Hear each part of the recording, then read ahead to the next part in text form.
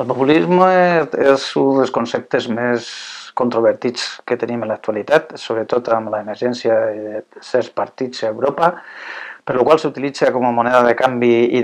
d'atac i de contraatac contínuament entre les èlits polítiques i també entre les classes dominants i les classes subalternes.